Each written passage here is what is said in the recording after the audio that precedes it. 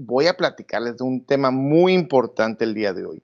Este tema es justamente lo que muchos hombres desconocen, lo que muchos hombres temen, lo que muchos hombres no quieren ni siquiera platicar de esto, pero es sumamente importante. Entonces, si tú eres hombre y nos estás escuchando, escúchanos bien. Si tienes algún hombre alrededor de ti, por favor, pásale el chisme que va a ser muy importante. Sabemos que al momento que vamos creciendo tenemos hormonas, tanto masculinas y femeninas. En las mujeres platicamos muchísimo de la menopausia, pero ¿sabes tú qué realmente es la andropausia? Bueno, déjame explicarte un poquito más. Al momento que nosotros vamos creciendo, tenemos lo que es la testosterona, que es justamente la hormona principal que nosotros tenemos como hombres. También las mujeres tienen testosterona y también los, hombres tenemos lo que es la progesterona, los estrógenos, pero tenemos un balance diferente. Esto nos da ciertas características en nuestro cuerpo, la manera que nos movemos, los músculos y también ciertas cosas que tenemos y nos definen como hombres. Por eso al momento que vamos perdiendo alguna de estas hormonas, específicamente la testosterona en hombres, nos puede dar lo que es el síndrome bajo de, la andropausia o también el síndrome bajo de, de los andrógenos. Esto hace que tengamos ciertas cosas. Al momento que entra la testosterona y, produce, y es producida generalmente por los testículos y otras partes del cuerpo, crea que nosotros tengamos mayor masa muscular. También define mucho lo que es el vello facial y otras características más como la línea esta perfecta del pelo, cabello que tenemos o que se nos está cayendo porque se está bajando la testosterona y tenemos ciertos genes ahí que se están moviendo de un lado al otro. Lo importante de saber esto es que hay ciertos mitos y realidades que nosotros podemos encontrar. Uno de los primeros que quiero platicarles es si la andropausia es algo real en los hombres. Bueno, la realidad es que sí. Al momento que empezamos nosotros a crecer, generalmente a partir de los 30 años, 1% de esta, de esta hormona empieza a bajar y eso es normal. Pero si tenemos una reducción rápida por muchas razones, esto puede hacer que nosotros empecemos a tener más pérdida de cabello, problemas también con lo que es la, eh, la, parte de tener un pene eréctil, también la manera que nos sentimos, el vigor, hay muchas cosas que empiezan a cambiar, empezamos a aumentar de peso. Entonces hay ciertas cosas que nosotros tenemos que hacer. Primero, es, si nosotros tenemos dudas, la mejor manera de tomar y ver qué está pasando es ir con su médico. Eso es lo primero y con eso quiero partir esta conversación.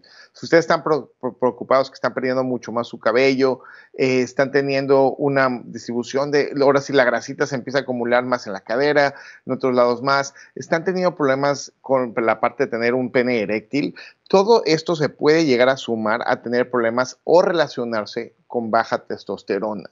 Por eso platiquen con su médico porque tenemos justamente un estudio por sangre, el cual mide dónde estamos con la testosterona. Generalmente tratamos de medirla en la mañana, pero su médico le puede explicar mucho mejor de qué es lo mejor para usted al momento de medir esto. Parte de las consecuencias que vamos a tener está muy relacionado la testosterona con la sexualidad.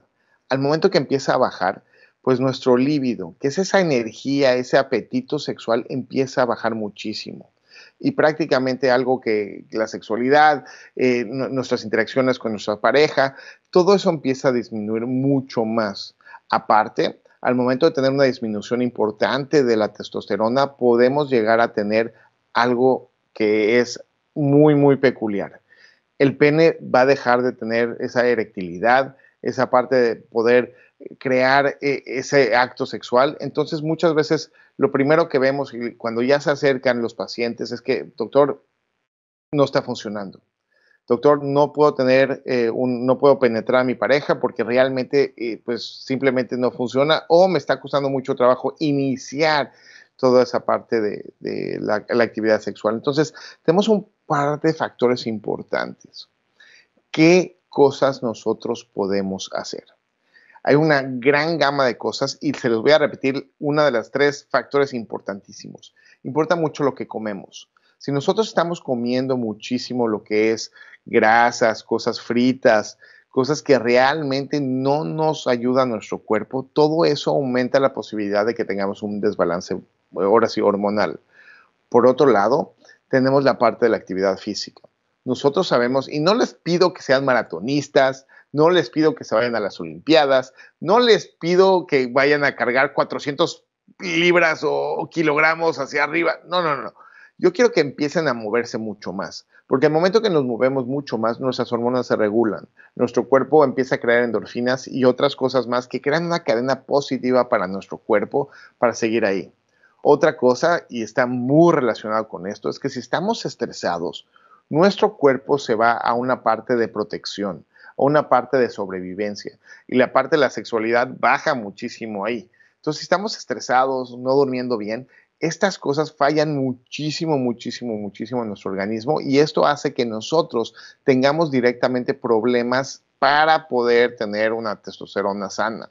Pero es muy importante que si alrededor de los 40, 45 años estamos teniendo esta pérdida de cabello mucho más repentina, problemas de la erección, teniendo ese líbido muy bajo, es muy importante que platiquen con su médico, porque de esa manera podemos ver ciertas cosas. Algunos tips físicos, aparte de, hablar del pene, podemos ver una reducción de la masa de los testículos. ¿Por qué? Los testículos, aunque no lo crean, es una glándula que produce testosterona. Prácticamente es la fábrica número uno que tenemos y al momento que tenemos una deficiencia dentro de los testículos, pues no trabajan mucho, echan la flojera, y se hacen mucho más chiquitos. Esto puede hacer que pues, nos demos cuenta por ahí. Por otro lado, si empezamos a ver que tenemos un aumento de grasa en el abdomen, en la cadera, estos son distribuciones mucho más que se van hacia lo que es hormonas femeninas, que son los estrógenos y la progesterona. Quiere decir que la hormona dominante, que es la testosterona generalmente en hombres, está bajando mucho más. Entonces hay que poner mucho más eh, importancia de esto. Cosas que también, digo, si faltaba algo en esa lista, es platicar un poco más de los músculos y de los huesos al momento que nosotros estamos ahí, los músculos están relacionados muchísimo con la testosterona. Entonces, si empiezan a bajar repentinamente estos niveles, pues los músculos pues ya no van a tener la oportunidad de crecer tanto y empezamos a perder masa muscular y no nada más eso. Sobre los huesos podemos empezar a tener osteoporosis. Eh, eso quiere decir que los huesos no van a fijar tanto el calcio y eso hace que los huesos se vuelvan mucho más frágiles y puedan llegar a tener problemas y hasta tronarse, cosa que queremos definitivamente evitar. Familia, ya saben cuáles son los síntomas de la andropausia, ya saben que si es hombre y están teniendo eso, platiquen con su médico, hay mucho que puede hacerse. Y si tienen un hombre alrededor en su familia, en su vida, por favor pasen el chisme, porque si ustedes pueden estar haciendo y ayudándolos para que tengan una mejor salud.